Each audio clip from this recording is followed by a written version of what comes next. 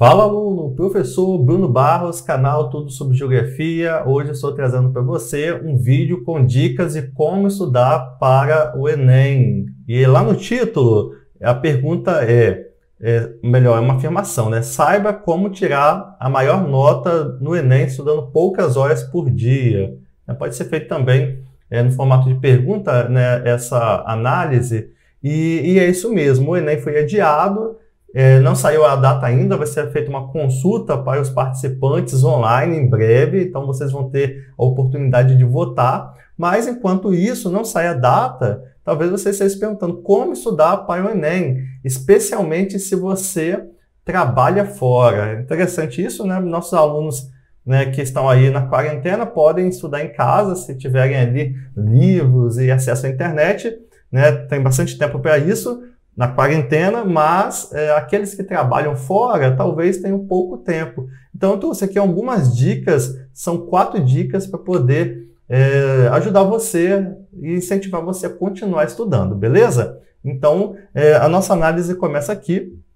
É, muitos não têm tempo, né, pois trabalham, como eu disse. Ah, esse assunto, antes de começar a nossa análise, ele é uma postagem do nosso blog, né, tudo sobre geografia, é, nós temos um blog, eu sempre posto nas redes sociais o link, vale a pena você acompanhar. Tem muita coisa interessante lá. E esse vídeo ele é uma análise de uma das postagens que eu fiz recentemente lá, tá bom? Então vamos lá. É, muitos acham difícil é, se preparar para o Enem, estudar durante várias horas por dia.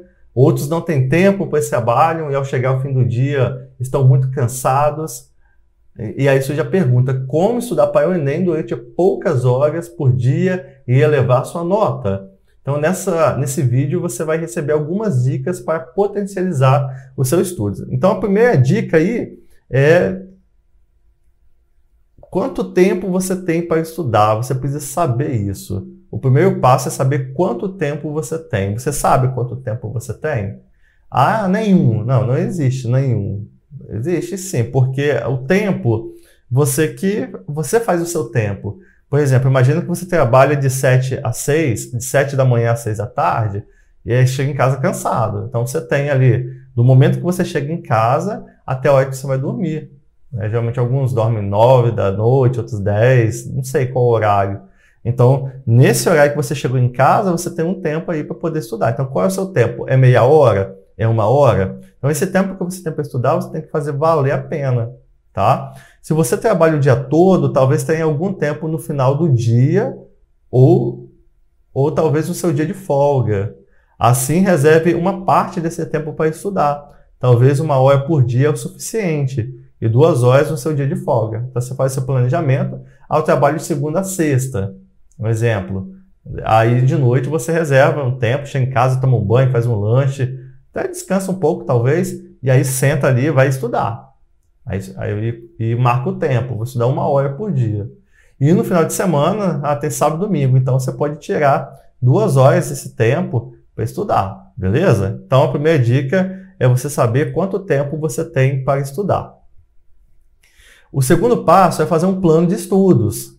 Ao organizar seu plano, leve em consideração as suas dificuldades, quando estiver estudando, resolva questões anteriores do Enem e, do, e de outros vestibulares.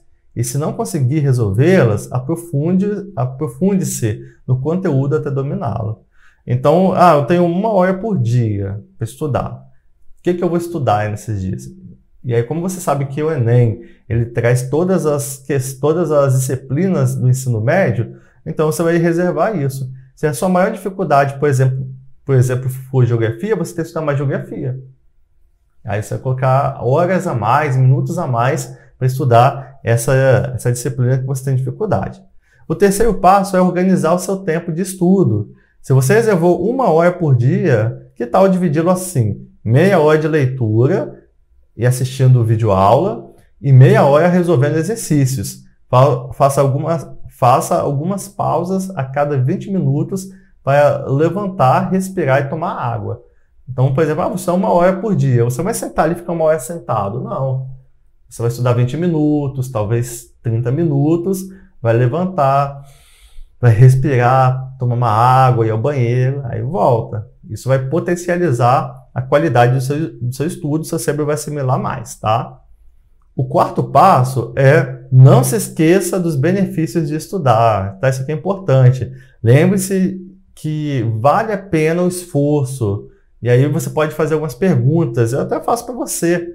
Qual é o seu sonho? É cursar medicina? Engenharia? Qual é o curso dos seus sonhos?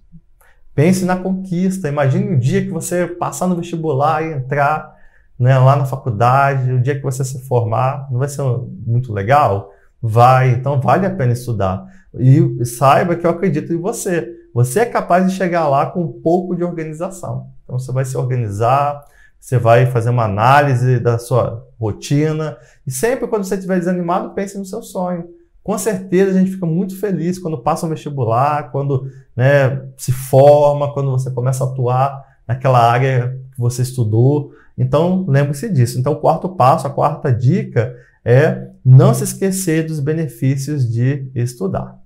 Bem, então espero que você tenha gostado, anotado aí as dicas desse vídeo. Lembrando que esse vídeo é, foi uma postagem lá do blog, então vale a pena você acessar o nosso blog, tem muita coisa legal, muita, muitas, muitas dicas sobre como estudar, também geografia, tem muita coisa lá interessante, vale a pena você acessar o link que eu vou deixar aqui na descrição deste vídeo. E eu tenho uma dica bônus para você que ficou aí até o final, ficou até o final, né? Muito obrigado por ter ficado até aqui. A dica bônus que eu tenho para você, eu preparei o um curso online de geografia para o Enem.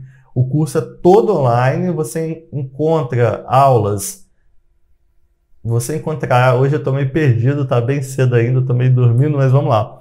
É, lá nesse curso você encontrará aulas exclusivas, conteúdos em PDF para download e suporte via internet em nossa plataforma. Vale a pena conhecê-lo. Ficou curioso, né? Então acesse aí a página é, do curso e tire todas as suas dúvidas. O link eu vou deixar aqui na descrição e vai aparecer um card aqui em cima, tá? Então vale a pena você acessar é, tem, e está com um precinho especial né, para você que segue o nosso uma olhada.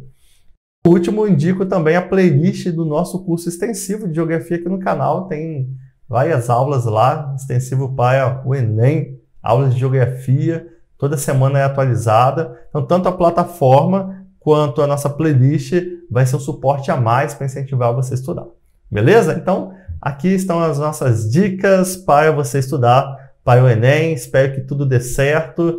E no final você pode voltar aqui e comentar como que o canal te ajudou a se preparar para o Enem. Muito obrigado por assistir esse vídeo. Ah, e antes de finalizar, tem uma coisa que eu quero, eu vou reforçar no, nos próximos vídeos, é que mais de 90% das pessoas que assistem aí os nossos vídeos não são inscritas no canal.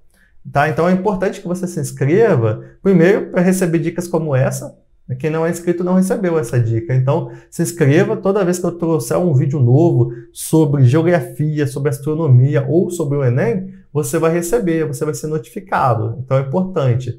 E também é uma forma de fortalecer a nossa comunidade educativa na internet. Né? É uma comunidade já forte, mas nós queremos continuar fortalecendo. Então, quando você se inscreve, quando você compartilha, deixa o seu like, o YouTube ele entende que esse tipo de conteúdo é importante e aí ele mostra para mais pessoas e a comunidade continua crescendo. Tá? Então, conto com a sua inscrição, se for possível, vai ajudar muito o canal e a você mesmo. Muito obrigado por assistir esse vídeo e até a próxima. Tchau!